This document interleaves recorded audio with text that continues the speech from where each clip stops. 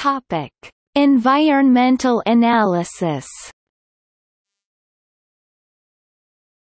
Environmental analysis is the use of analytical chemistry and other techniques to study the environment.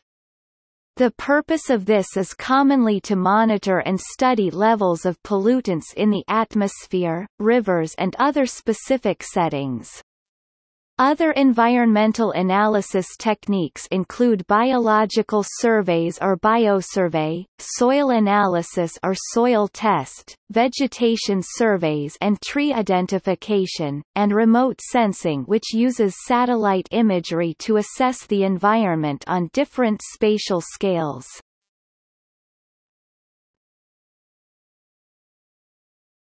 Topic: Analysis techniques Chemical analysis typically involves sampling some part of the environment and using lab equipment to figure out how much of a certain target compound exists. Someone might use chemical analysis to assess pollution levels for remediation, or to make sure groundwater is safe for drinking.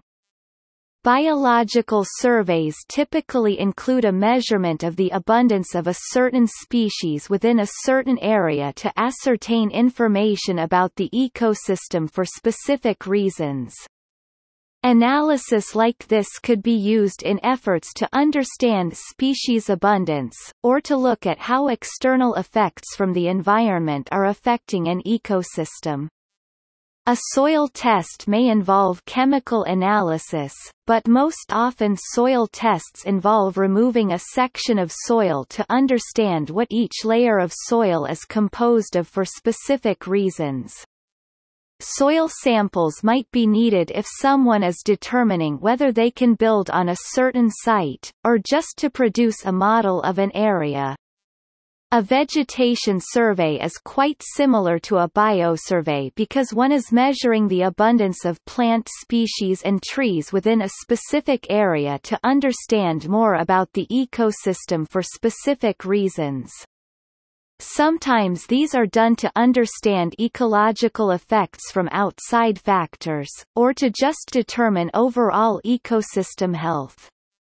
Remote sensing can be used for environmental analysis by taking imagery shot by satellites in multiple wavelengths to assess areas of different scale for a certain objective.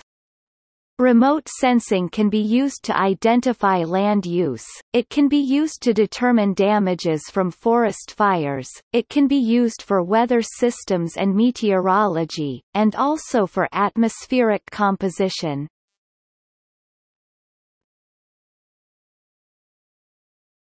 Topic: Education.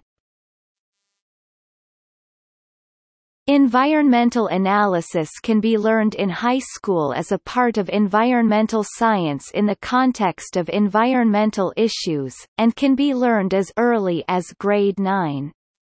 Post-secondary environmental science teaches environmental analysis as a part of field techniques courses and environmental issues. These programs are offered all over Canada at schools like McMaster University, Dalhousie University, University of Alberta and University of British Columbia.